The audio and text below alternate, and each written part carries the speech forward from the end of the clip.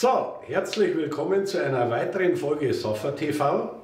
Wir sind immer noch bei unserem Winzer-Battle Nord gegen Süd, Kavit Kellerei gegen Colomba Bianca.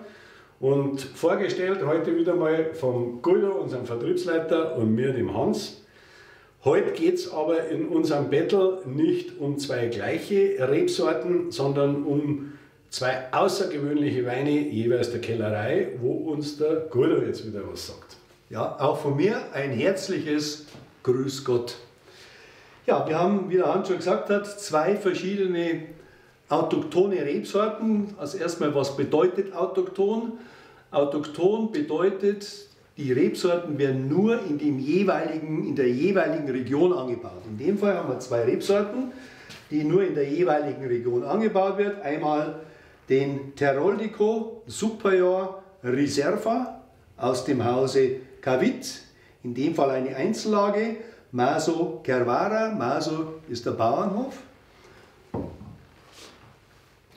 Und aus dem Hause Core oder aus der Lage Core, den Nero d'Avola, eine Spezialität, eine Rotweinspezialität, das ausschließlich nur in Sizilien oder auf Sizilien angebaut und benefiziert wird.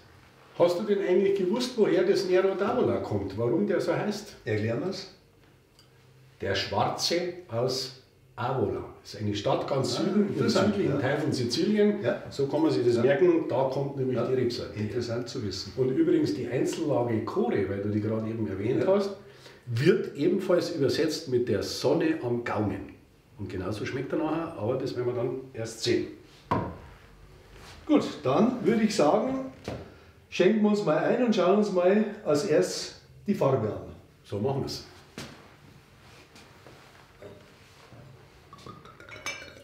Oh, da sieht man schon. Was denn? Ein tiefes Dunkelrot, tiefes Rubinrot. Ja, also ich bin auch in einem sehr tiefen dunklen Rot unterwegs. Sehr komplex, sehr schön, wunderbar. Sieht auch schön, ich weiß nicht, ob man das äh, im TV zu Hause an den Fernsehgeräten sieht, äh, die Kirchenfenster, das ja immer von einem sehr hohen Tanningehalt herkommt. Bei dir übrigens ebenfalls. Ja, also die beiden sind wunderschön von der Farbe und animieren sofort zum Riechen, aber noch mehr zum Trinken. Da sind wir jetzt dann schon wieder bei einem Unentschieden. Da kann man keinen Punkt an nee, den einen oder anderen vergeben. Deswegen muss es jetzt wieder mal vielleicht der Geruch machen.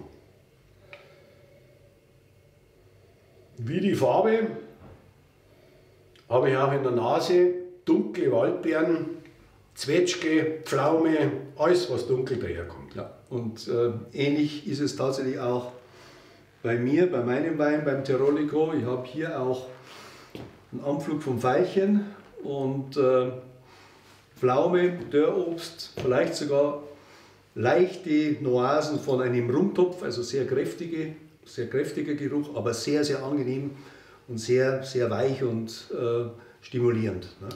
Also da glaube ich, muss ich mich geschlagen geben, weil gegen Veilchen kann keiner was sagen. Insofern Punkt an Team. Ja, da hat er recht. Man muss jetzt schauen, dass der Geschmack rausreißt. Also hier merke ich schon mal ganz klar, unabhängig von der Säure-Alkoholgehalt, diese enorme Dichte und sehr viele Tannine, was den Wein übrigens sehr lange lagerfähig macht dürfte bei dir ähnlich ja, sein. Ja, es ist in der Tat so, wir haben bis dato, das vielleicht auch nochmal ganz wichtig ist zu erwähnen, wir haben jetzt ähm, einen Wein, also zumindest ähm, bei mir im Glas, der 20 Monate im Barrik gereift ist, also im kleinen Holzfass, das sind 225 Liter ähm, Holzfässer, ist äh, über 20 Monate gereift und wird dann auf die Flasche gefüllt und wird dann nach einem weiteren halben Jahr Lagerung in der Flasche erst in den Verkauf gebracht. Und das merkt man auch äh, im, am Geschmack. Wir haben sehr feine Tannine, sehr kräftige, sehr kräftige Struktur, aber mit sehr, sehr eleganten Abgang und tiefen Abgang.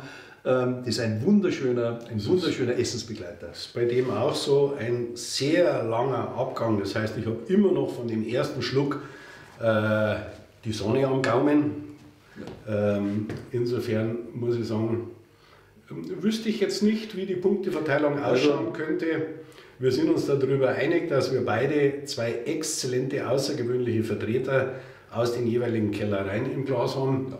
Ja. Insofern ja. ist es eigentlich eher eine Geschmacks- und auf gar keinen Fall eine Qualitätssache. Aber wie immer eine ganz klare Kaufempfehlung.